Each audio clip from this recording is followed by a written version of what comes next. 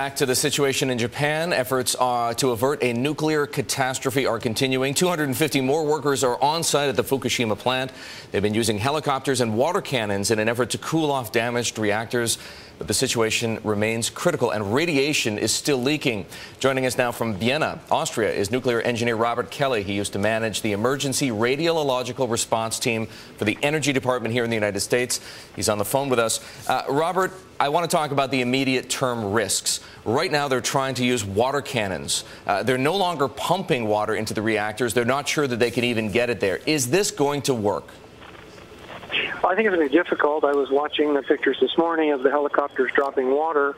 Uh, it doesn't come down like a big glob. By the time it had reached the top of the reactor, it was spreading as a cloud of mist, like you see over a forest fire. So it doesn't look like that's very effective. As far as things like the water cannons, if people can't approach the buildings closely enough uh, from the ground with the high radiation levels, they're just going to be spraying water kind of randomly up there, hoping some of it goes into pools.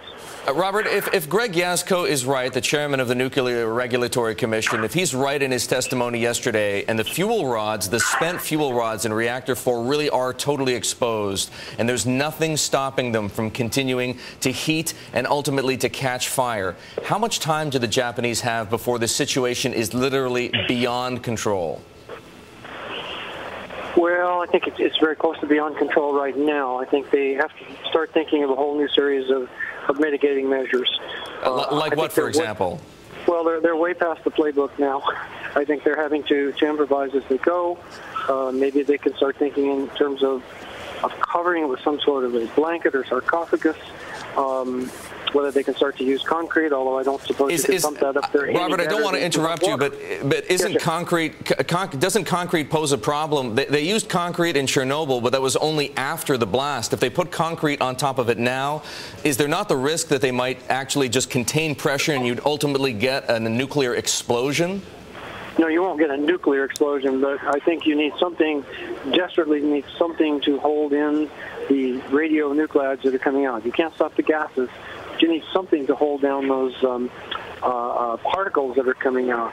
Maybe they can find a polymer spray to put over it, something of that type. But they they really have lost control at this point. And now the question is, if they lose control at one facility, and it drives everybody out of the area, then they've lost the others as well. It's an unbelievably frightening scenario. Robert, thank you for joining us for those insights. Robert Kelley, he used to manage the emergency radio, uh, radiological response team for the Department of Energy. He just told us the situation is out of control, and now the greatest risk is that not just one, but all six reactors are beyond Japan's ability to control a nuclear meltdown.